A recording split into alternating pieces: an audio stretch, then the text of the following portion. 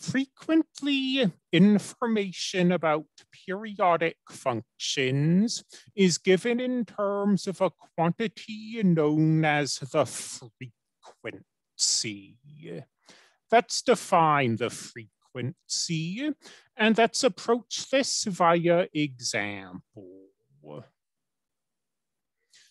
The volume of blood in a human heart is periodic. It, the human heart contains a maximum of about 140 milliliters of blood, but when the heart beats, about 70 milliliters of that is pushed out.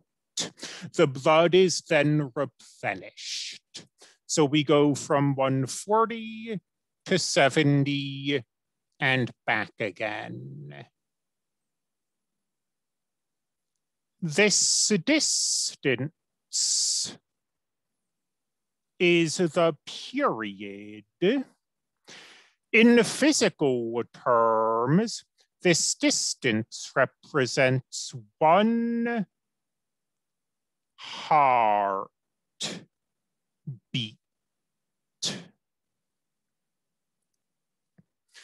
Now, you'll have heard heart rate discussed at some point in your life.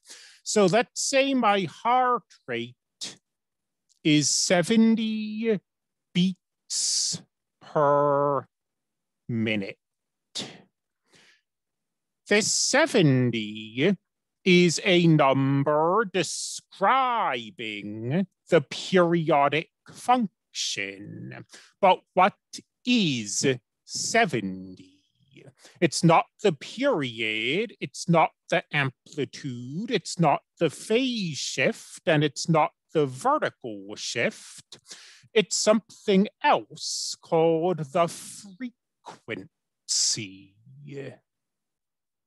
The frequency of a sinusoidal function is one divided by its period.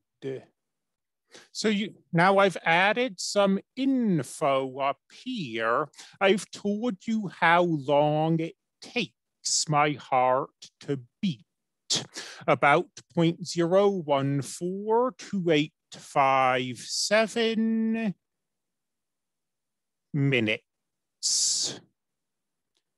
And one divided by the